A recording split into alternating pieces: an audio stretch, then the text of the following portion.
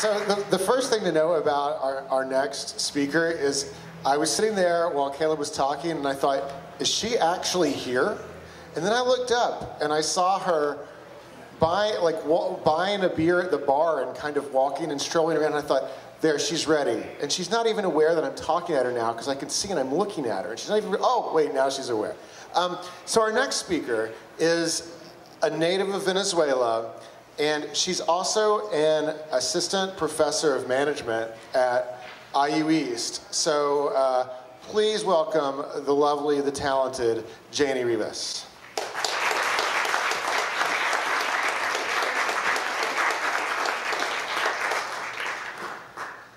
Okay, when I came to the United States as a graduate student, I needed to learn English fast. Desperately. I really needed. So I felt, I felt so lucky when a Polish friend and her husband invited me to be their roommate. It was perfect, right? She speaks Polish, he speaks English, I speak Spanish. The only way to communicate between us was English. Perfect, right? But there was a problem, always, right? There was a problem. They had a cat. And you may think this is not a problem, but listen, I do, I do not like animals inside my home. I mean, guys, they are beautiful, they are nice, but cats, animals inside home, they are messy, they scratch or, you know, scratch things, break things, they get dirty, they get dirty things around them. So, I mean, I like them, but not inside my home. Well, but I thought it's a cat. Do You know cats. Do You know cats' personality. They are independent. They are. They like to be alone. They like to have their space. So I say, this cat will leave me alone. And I made a decision. I moved in with my friends. Was so so mistake, a big mistake. This cat is not like the cats you know. No, really, really. This cat was more like, um, let, me, let me give you an example. This cat follow my friends for all around the, the house. It's not that a, a, a dog, right? He follow. And the cat also, uh, for example, uh, he um, liked a lot to play with my friends. And did I tell you that he, the cat had a box of toys a huge one. And he liked to take toys with her uh, mouth and go follow my friends, asking them to play with him. What, what kind of cat is this? Well, but the good point is that the cat didn't bother me. Never. Until she did. One day, I put the cereal with, my, with, a milk, uh, with milk in a cup and when I came back, I left. And when I came back, guess who was eating my food? The cat. Another day, I opened the door, my bedroom door, and the cat, I mean, the cat was over my papers and book. Do you know who is the baby of a graduate student? Papers and book. Yes. There was my baby, and that cat was sleeping over my babies. At this point, I really thought this cat has a personality disorder. what about this personality disorder, dependent personality disorder that uh, means that you cannot be alone? You have to be with someone else, dependent personality disorder. Or what about narcissistic personality disorder that you all the time need the attention from someone, right? Well, one day, I remember I say, well, whatever, you, you really need this, learn English, right? So let it go. One day, and it, it, was like, you know, not really bad, but one day I, I, I arrived early than my uh, roommates did, and they got decided that it was a good time for in, uh, moving forward in our relationship. I was alone in home, get ready for relaxing, went into the sofa, turned on the television, and the cat jumped into my lap. I couldn't believe it. I nicely say to that cat, get out of here. I couldn't believe it, and that was enough. The cat understood.